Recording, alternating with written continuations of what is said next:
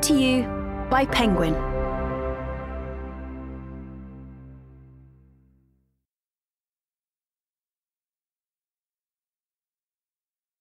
Teeth in the Back of My Neck. Written and read by Monika Radojevic. For Tata, Mamãe, Lara, Luca. Together you have given me everything. The Teeth. Songs for Nobody. I want the clouds to crack open like an egg and dump all their squealing water into our laps plaster our hair to our faces mid argument, so all the fights that don't matter will be left with their mouths hanging open. I want the sky to do something drastic, even fatal, like fling itself onto our shoulders so our heads snap up long enough to recognize something is wrong. And I want the bees and the locusts and the wasps to clump together and fly erratically, as if they were about to swoop down at us in an arrow of transparent wings making us feel so nakedly small and terrified that our feet refuse to work for us any longer and they join the revolution, keeping us fixed and staring. And I want this to happen now, right now. Some apoplectic wave must wash across the earth and remove all the carnivorous mass of wrongness we have been gathering up like valuables, so that all the systems that actually twist and break the human soul become so brittle we will only need to sit on them to crumble them once and for all. I want the ocean to invert itself and, like chewed up wads of gum, spit out all the plastic mistakes we buried inside it. I want the sea to vomit up the cancer and let it splatter like a blood clot onto a sand that will quickly and quietly absorb it into yellowness and brownness, so new people with new eyes will not see it or smell it or taste it when they come along. I want the whales to suck in bellyfuls of fetid air and sing their songs for nobody, and I want the noise to be loud and unbearable, trauma translated into a sound only the tiny bones in the human ear can pick up, and let it become a forever tune, like the sudden ringing in the ear. I want us to flinch as we stand with no voice and no feet to run, and our eyes betraying us, so they too do not shut, do not miss the moments when the birds make no noise as they hover so close to the ground, so close that they could pluck a single blade of grass with their beak if they choose. And I want one of them to choose to do it and I want that blade of grass to split the ground like an apple being snapped into. I want the dirt to carefully, lovingly, gently return all the stolen labour, stolen bodies, stolen life we have taken by using entire races as fodder to build empires upon. I want us to watch this happen and stretch forward to meet the figures climbing out and shaking off the soil from their clothes and I want the trees to slowly and carefully pick up their roots, lift their long skirts, and pluck up all the buried landmines with a faux genteel delicacy. Hold them between thumb and forefinger and fling them up in the air to explode in heat and sudden stillness. I want the shock of it, the audacity of it to burst open buried graves at the same moment. Lines of people taken too soon gather to watch their own skeletons rise in silence. I want all of us watching to feel our knees buckle, like God herself was resting her elbows on our backs, watching the show. I want her to fling her arms up in the air, resolution lacing her brows, so the mountains give great shudders and sit up to stretch, to roll stiff necks, to reveal themselves to be sleeping giants. I want them to bend over and clamp blunt teeth into the backs of our necks, the way a lioness picks up her lion cub with precise tenderness.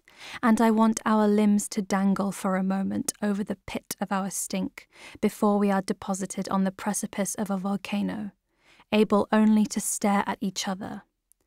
I want us to take deep breaths. Let that ash settle like fine dust in the rims of our eyes, darken our gums, embed into the fetus curls of our ears, and start coughing up our damage, coughing it up so aggressively that we lose control of our own bodies and surrender as we pretend to sleep, held hostage by a virus that chews up holes in our lungs.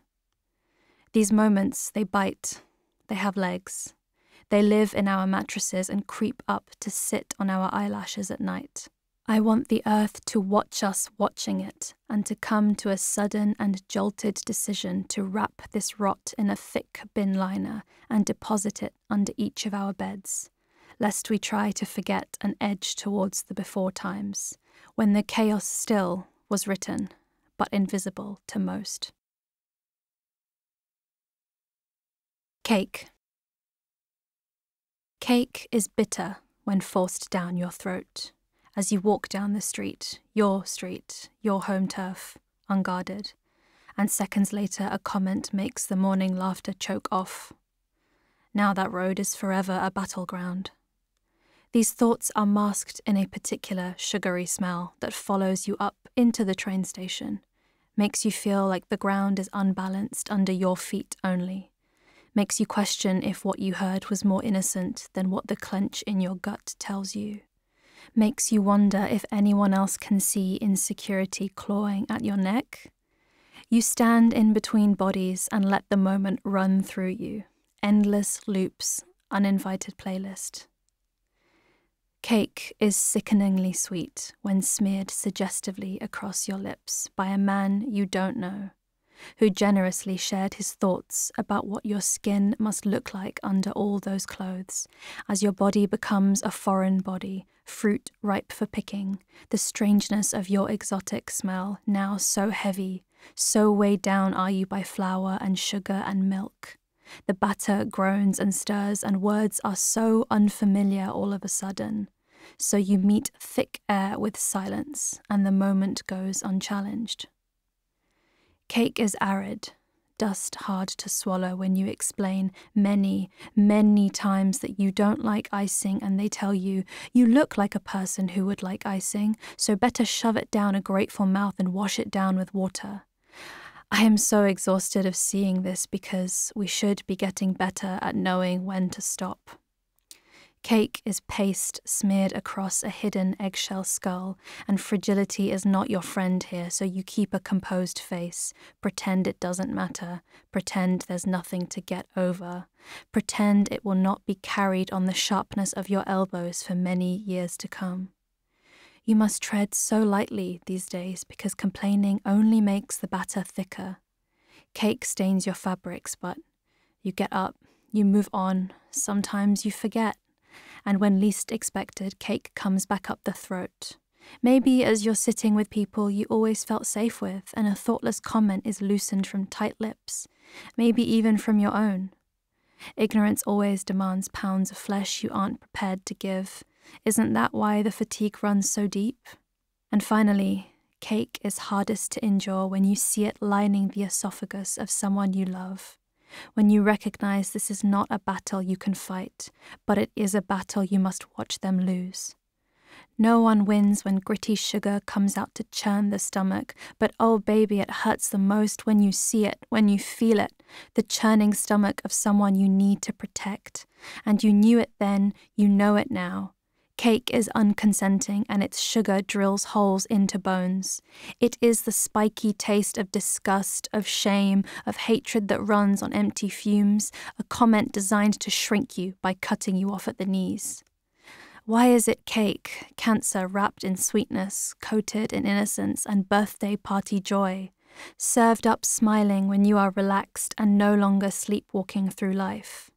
Why is it this that scratches up the surface of the soul, a numbness most keenly felt as you keep a blank face and say you're okay, you lie, as they keep a blank face and they say they're okay, they lie, while the decay sinks into the ground and follows you home. Men who howl at the moon. They hold big teeth, the men who howl. They hold sweaty weakness in the sweaty palms of their hands and keep their fists clenched tight so that none of us can see it. They make big decisions, the men who howl. They make them with words with jagged edges, cut sharp by sharp thoughts. So all of us must wrap ourselves in fluffy cotton wool to ensure our bodies from damage. Usually that doesn't work. They are We hope you enjoyed this preview. To continue listening to this audiobook on Google Play Books, use the link in the video description.